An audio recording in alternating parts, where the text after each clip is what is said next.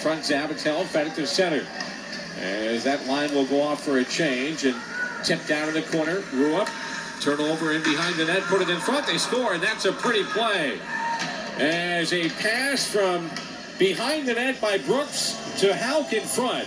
And Hauk just taps it in the open net, beating Riley Gill.